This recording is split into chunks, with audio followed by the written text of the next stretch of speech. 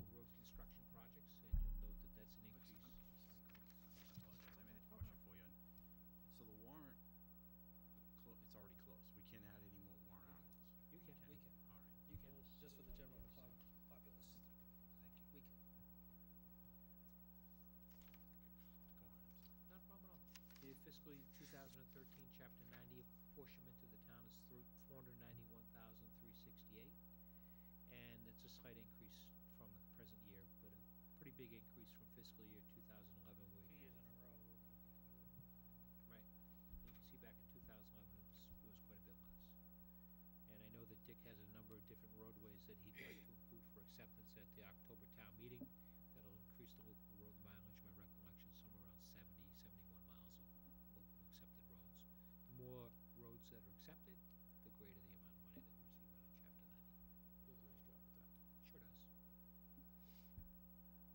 lastly, is the chief of police has informed me that his department is in receipt of a ten thousand seven hundred dollar grant from the state nine-one-one department.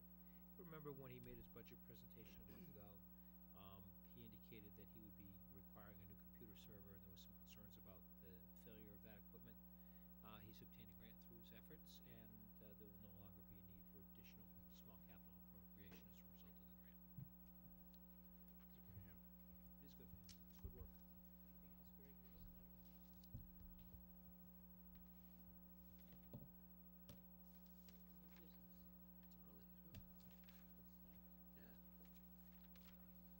First of all, uh, special election results were, I consider to be extremely favorable for the entire community, and I think the community is to be applauded for their uh, participation. I think the uh, Secondary School Building Committee did a fabulous job of educating the public as to what our needs were and what the most cost uh, beneficial route to take was, and uh, the feedback that I was getting throughout the whole process in relation to being played over and over and over again,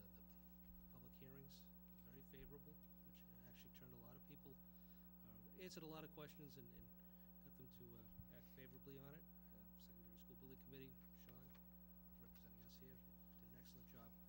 Now you got a lot of work to do going forward, which is, now you have to do is build these things. Not a big deal. We have to build it now? Yeah, and then, uh, and to the uh, Invest in North Reading Group, uh, Jeff Simon and his crew, uh, again, to be congratulated for their efforts. And uh, uh, Jeff in particular, over the years, along with a lot of people, though, have uh, invested years, years to make sure that our uh, public school facilities have been properly addressed. And uh, this is just the cap on all the projects.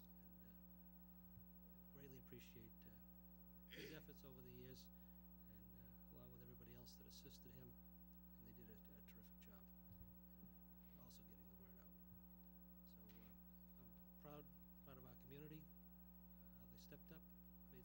decisions.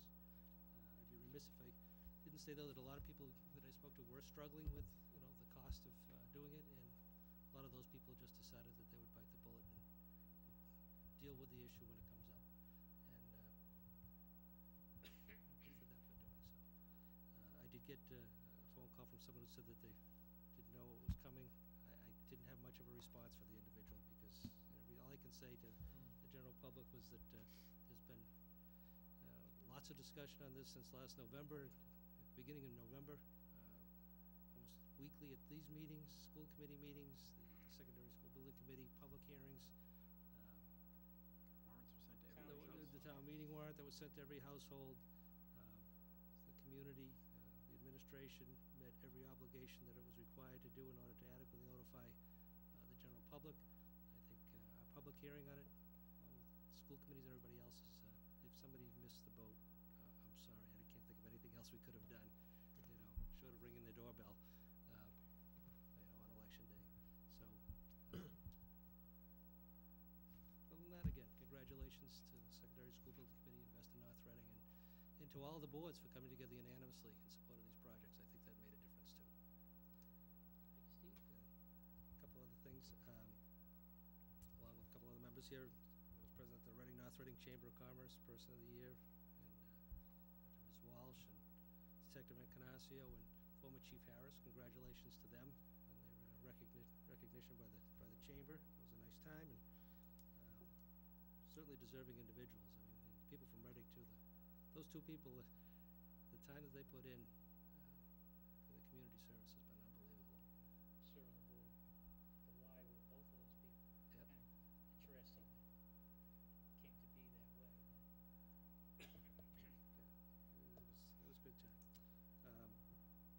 thing is, I'd just like to remind people that uh, this board took a position a couple of months ago in relation to, uh, if you want to invest in some real estate in North Reading at uh, Riverside, uh, at a reduced rate at the cemetery. Again, the, the lot prices are gonna go up the first of July.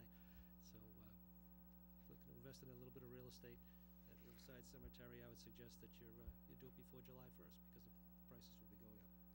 And finally, I'd just like to recognize Pierce, uh, who passed away this past week, and services were Saturday. Uh, He was a uh, very devoted public servant, uh, got injured, excuse me, actually had a stroke on the job about 20 years ago. Has been disabled ever since. And one thing that I can say for certain, and know for sure, is that his fellow firefighters never abandoned him. For the two decades that he's been in need of services, his, uh, his brothers answered the call for him, and they, uh, they did a fabulous job of giving him a send-off on Saturday, and I was uh, privileged to be there and, uh, witness what the North Reading Fire Department did for uh, one of their former fellow firefighters. And uh, to Norma and her family, uh, our condolences,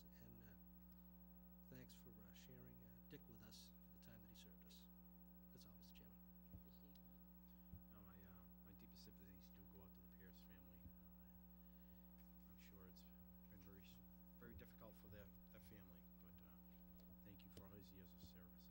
I do wanna add on one thing on the schools, I'm sure there'll be other discussion on it. It really goes back to our town clerk's office. I, I really have to give a lot of kudos to Barbara and her staff.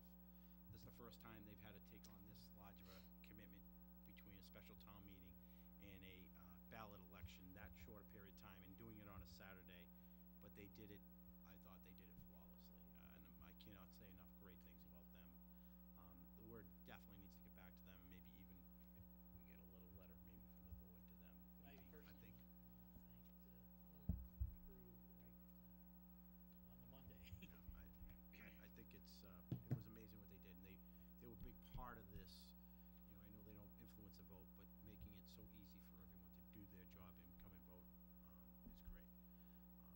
wasn't really happy about the turnout though. I I was real- actually really surprised. I was surprised, too. We're gonna spend that much money and we only had a 37, 38 percent turnout. Um, It's a little disheartening, but that being said, I'm gonna move on. Um, Annual report, I know that's coming out soon, right? Is there, and we, we as a board have talked about this annual report, You reports. talking about the audit? No, the annual report, the big book that we print. Oh. You wrote up a nice Yeah. piece for, and you for the work you did on that. But that big book, and we've talked about maybe possibly moving that into more an electronic media um, version rather than a paper version, and then having some limited access to the paper versions for the people that don't have access to the electronic version. Is that something we can do between now and June town meeting, get something prepared in a warrant article to? Doing it now, we're, we cut back greatly on the number of town reports that we order. Okay. Greatly. So the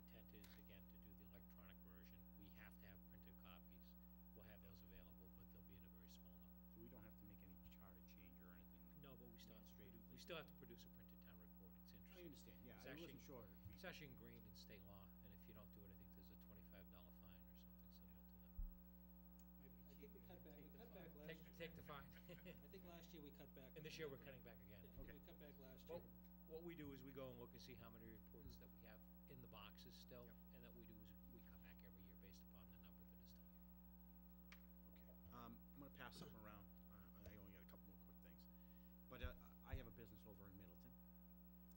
get our bills, um, this one happens to be your personal property in your business, you have to pay your, your taxes on it.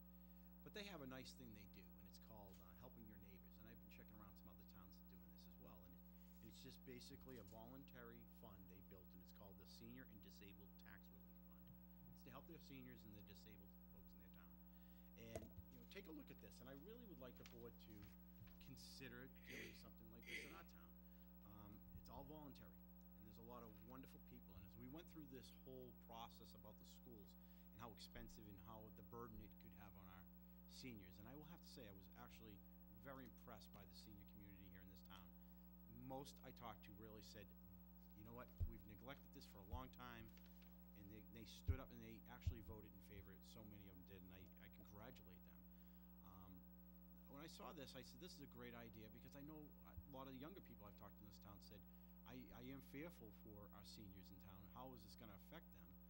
And, you know, some may wanna voluntarily submit a, um, a tax relief, or not tax relief, make a donation towards this fund. And when I talked to the Middleton Town, uh, Finance Director today, they actually have a, built a board, and Deb Carboni is one of the board members that manages this account. From, she's an assessor here from our town, so they actually have people from outside their community on this board that. They raise around between a thousand and two thousand dollars a year. Right now, they have about ten thousand dollars in that, that fund, and they have very, have a lot of restrictions on how they use it. But it really mainly focuses on seniors and the disabled. When they have a situation that's just, they cannot handle it on their own, they can submit this paperwork and get some help. And so, and I think, and including myself, I would, I would donate to that. You know, even if it was hundred dollars a year, I would donate to it. And I'm sure there's others in helping hand forward to our seniors, and it's separate against anything else we do. There is a- actually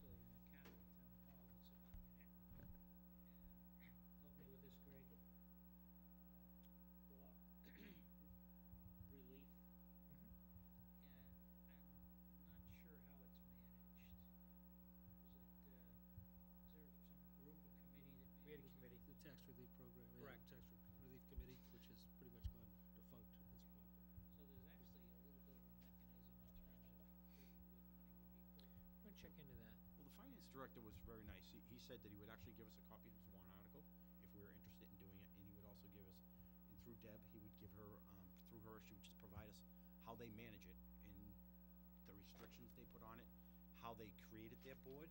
Uh, he even told me, um, they have a- somebody from the Council on Aging, they have two board members from the Board of Selectmen on that committee, uh, somebody, uh, Deb Carboni, the assessor here in North Reading, just think it's something I would like the board to consider. We don't have to get into a long discussion on it tonight, but something maybe down the road. Yeah, uh, Sure. It's, Actually, town administrator, it's put what, together a while ago and yeah. Okay, well, it would be nice if we could resurrect it then. I think, it's- yeah, if we just get it Money going actually again, in the fund. and if we can, uh, I, I think part of the problem before was having a mechanism to, to get the money into it. You know, some people would go out and solicit local businesses, uh, philanthropic people would throw some money their way once in a while. That's how we get into it, rather than having a, another, uh, easy way of making a donation. Again, even a, a link on the website now Yeah. would be, uh, Would be great. would be easy, since we can If we could accept, produce it onto accept the funds bills. o- online and that sort of thing would be good. Um, last thing I have, Bob, is I just wanna wish everybody a happy Easter and a Passover as well. Uh, Thank you.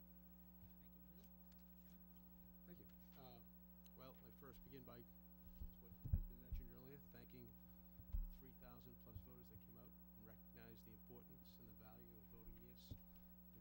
school project.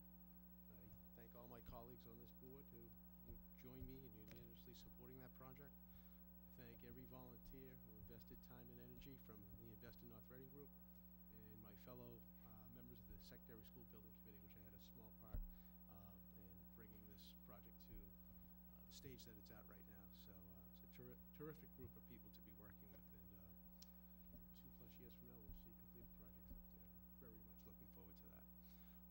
I too would like to extend my uh, thanks to Barbara Stats and her staff, uh, both here in Town Hall and the election workers. Um, We can't forget that not only do they have a special town meeting, a special election, they had a presidential primary, they had voter registration, and they had a tremendous amount, speaking to Barbara, um, absentee ballots that